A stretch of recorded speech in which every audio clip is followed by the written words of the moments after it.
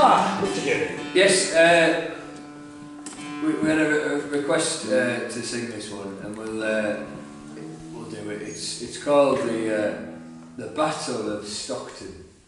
Stockton on Tees is where I was born and where Michael was born, and uh, we were amazed to learn only a couple of years ago about this wonderful event that happened in Stockton in 1933. Uh, no one had told us about it at school, no one really knew about it. Um,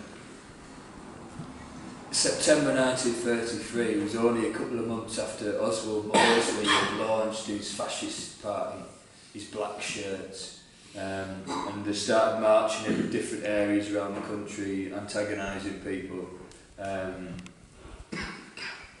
and they were also very keen, they thought that people in areas like ours, which in the 30s were completely on the knees, you know, massive employment, great hardship, they thought they were the areas that would be ripe for fascism. And so on a bright September morning 81 years ago, a hundred of these black shirts were, were busting and uh, they got off the bus and marched across the Victoria Bridge um, and into Stockton High Street. But when they got into Stockton High Street, they got the shock of their lives because word had got round that they were coming and 2,000 people were waiting for them. Uh, and they promptly chased them back across the river uh, and it became known as the Battle of Stockton. Uh, and we like to call the song When Our Grandfathers Said No.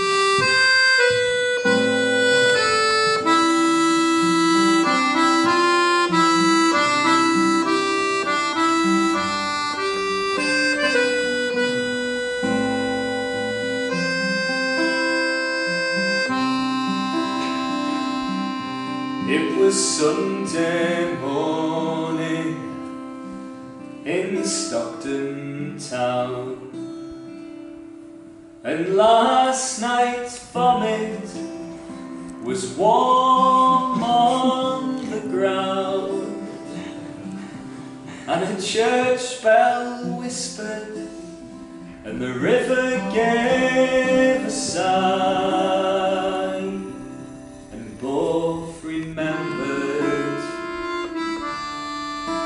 days gone by.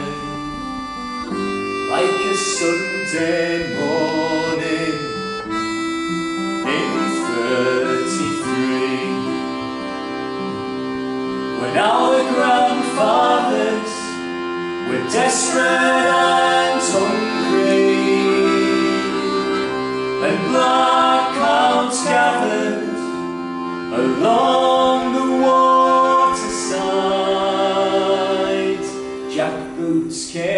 marching, and the.